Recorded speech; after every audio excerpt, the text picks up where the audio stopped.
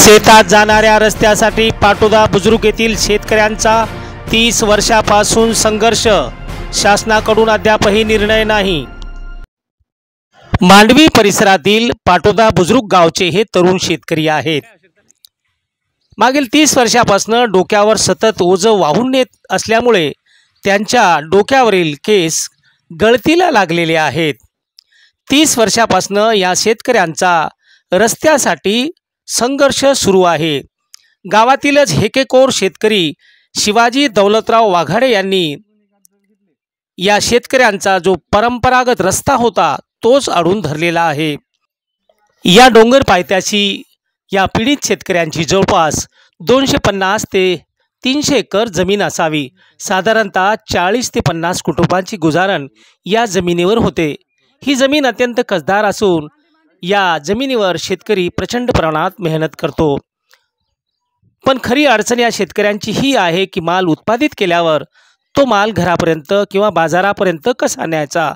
हा एक मोठा प्रश्न मागील तीस वर्षापासून त्यांना छळतोय साईनाथ गंगाधर सोनुले. काय नेता तुम्ही? आम्ही वाडी आहे आपली भाजीपाला सगळं लावगण आहे आपली. आणि- आपला रस्ताच नाही साहेब काय करावं आता? रस्ता देत नाही गव्हर्नमेंटला खूप झाला झाला अर्ज करतो आम्ही. गव्हर्नमेंट काय शासन काय आपल्याकडे लक्ष देत नाही आहे. काय अडचण काय नेमकी? नेमकी अडचण समजा रस्ते आहे पण आता काही अं, रस्ते बंद करू नये. तर आम्ही आता शासनाला भांडत आहोत की रस्ता द्या बा म्हणून. तर शासन आमच्याकडे दुर्लक्ष करत आहे. शेतीचा माल वगैरे कसं नेता आम्ही सर्व डोक्यावरच नेतो. आता टाकता येत नाही ज्वारी टाकता येत नाही विकत घेऊन खायला लागते. कापसाचे गटोडे मोठे मोठे आमचे मालक वाहतात सर. मोठे मोठे गटोडे आमचे मालक वाहतात आमचे असे दुनियाचे येले होत आहे. वजे लहान लहान लेकरा सहित आम्ही घरी येतो. आम्ही रोजानं वजेवाले रोजानं नौकर लावतो सर. रोजदार लावतो. बिलकुल आम्हाला रस्ता नाही. आहे सरकार आम्हाला रस्ता द्याव. हो नाही तर परवानगी द्याव. आम्ही उपोषणला बी बसायला तयार आहोत सर. आमची खूप येले होत आहे. आमच्या आता पन्नास वर्षाच्या वर झाले वजेवात आहे आमच्या सासू सासऱ्यापासून. आम्ही बी आम्हा आमच्यावर बी तेच पाडी आहे सर. किती दिवस असं आम्ही वजेवाच दे काही हो दे असंच. वायना हाय न गाठोड्यानं पाणी आलं का फज्जित होते. महागाई बी रस्त्यासाठी दोन महिने जेवारी ठेवले गोणे सडून गेले जेवारी सडून गेली एक वर्षे. तहसीलदार मॅडम आले होते ना? आल्या होत्या. पण त्यानं क- जरा दाखवून दिले कापकूप केले यास लागले नाही रस्त्याला. आता काय काय शेतीमध्ये तुमच्या? आता हे बा आता कापूस आहे भाजीपाला हाय सर्वच न्याय लागते सर.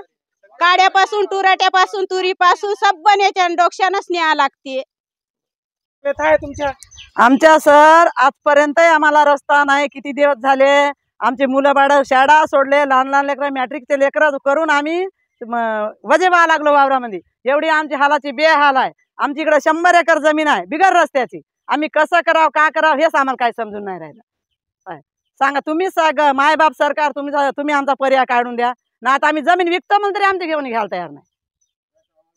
नाही तर आम्ही मत्त्यानं देतो म्हणता करत नाही. बटाईनं देतो म्हणता कोणी करत नाही.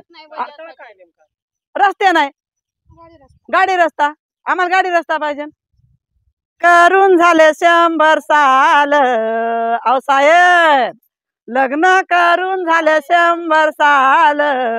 पावा आमच्या जीवाची कशी हाल. पावा आमच्या जीवाची कशी हाल. मुलं बाळ सारे हो शाळेतून आले. सरकारचा पैसा खाले चानस नाही त्याले करा सांगा. अशी आमची पावा तुम्ही हाल. अशी आमची पावा तुमची आल.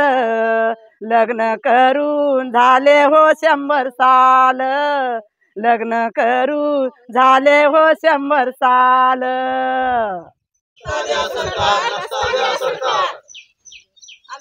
रस्ता द्या सरकार. विनंत्या विनंती सरकार रस्ता द्या सरकार. आम्ही जगणार नाही आम्ही वाचणार नाही रस्ता नसली तर लेकराची खूप हलवणार आहे. रस्ता द्या सरकार. काळी कसदार जमीन आहे सिंचनाची पर्याप्त व्यवस्था आहे पण खरी अडचण आहे ती शेतकऱ्यांना. आपल्या शेतामध्ये तयार केलेला माल उत्पादित केलेला माल घरापर्यंत कसा न्यायचा?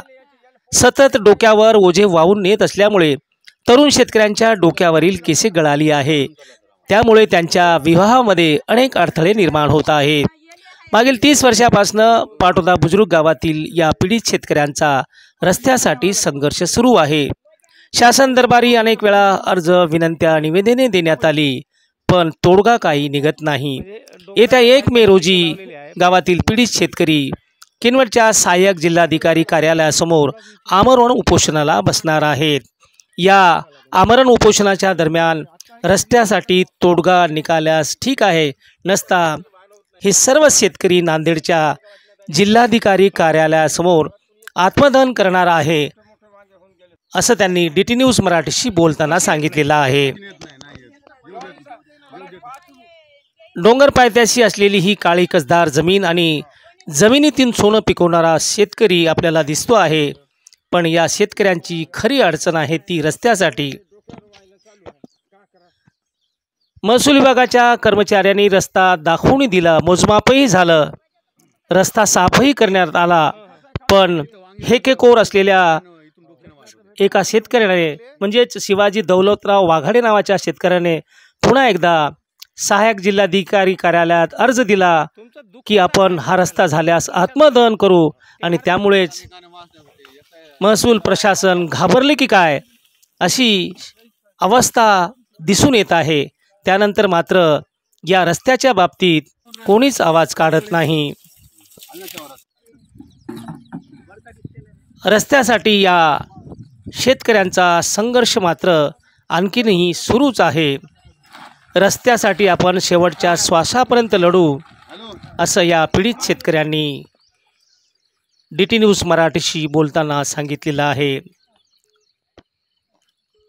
मागील तीस वर्षाच्या या कार्यकाळामध्ये डोक्यावर ओझं वाहून येत असल्यामुळे अनेक लोक वंदना सोनुले वंदना संजय सोनुले काय झालं तुम्हाला नेमकं? शेतातून येता येता सर ढाल घेऊन पडली.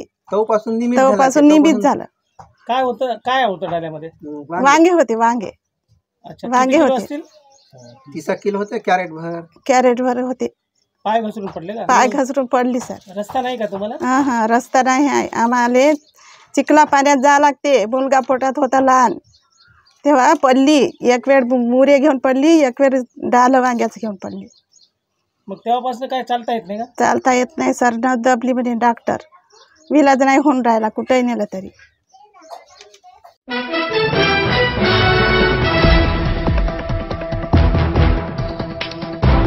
हे आहे टी न्यूज नेटवर्क आणि आपण बघत आहात डी टी न्यूज मराठी.